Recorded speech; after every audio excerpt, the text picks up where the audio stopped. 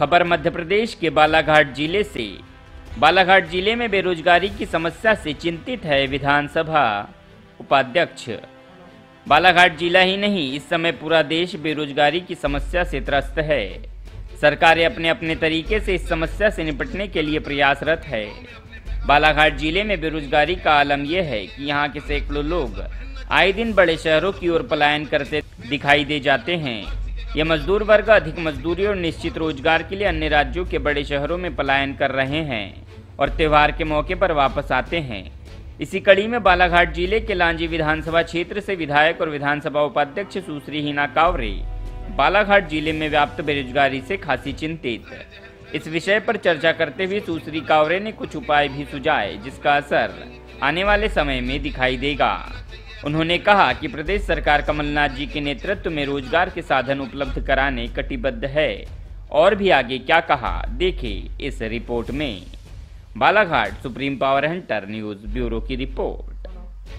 Ma'am ये बताएँ कि जो रोज़गार को लेकर जो मोदी जी ने एक बहुत बड़ा अभियान छेड़ा था, उसके बाद रोज़गार के आयाम पैदा नहीं हो पाए। लेकिन चूँकि अब सरकार कांग्रेस की है, एमपी में, क्या कहना चाहेंगे रोज़गार को लेकर? निश्चित रूप से मध्य प्रदेश में कांग्रेस की सरकार पंद्रह साल के परिवर्तन के बाद बनी है, पंद्रह साल के बाद बनी है और हमारे जो मुख्यमंत्री आदरणीय कमलनाथ जी, उनका फोकस भी नौजवानों को रोज़गार को लेकर है। और बालाघाट के रेफरेंस में यदि हम बात करें तो हम लोगों की भी जितने हमारे जो सभी जनप्रतिनिधि हैं, सबका फोकस रोज़गार की तरफ़ है। किस स्तर पर हम उनको रोज़गार उपलब्ध करवा सकते हैं?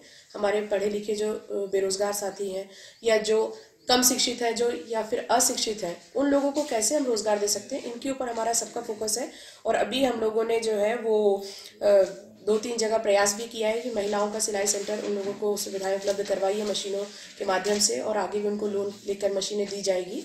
और इसके अलावा भी जो लोकल लेवल के काम है मतलब जो जिस जगह की पहचान है, जैसे एक अभी उदाहरण के लिए आपको बताना चाहूँगी मैं कि जो हमारे इधर पत्तल में खाना परोसा जाता है तो प्लास्टिक का इस्तेमाल ना करते हुए जो पत्तों से जो पत्तल निर्मित होती है, उसके लिए भी मैंने अभी हमारे कलेक्टर को और सीओ जिला पंचायत को बोला है कि आप ऐसी कुछ व्यवस्था इनको करिए कि इनकी ट्रेनिंग हम मशीनें खरीद के ले आए बाहर से और इनको ट्रेनिंग दें यहाँ के लोगों को, ताकि वो अपना खुद का रोज़गार तैयार हो और उसके लिए मार्केट अवेलेबल करवाने की भी पूरी जवाबदारी प्रशासन की रहेगी। इस तरह से काफ़ी कुछ जगह प्रयास हो भी रहे हैं और आगे काम चल ही रहे हैं।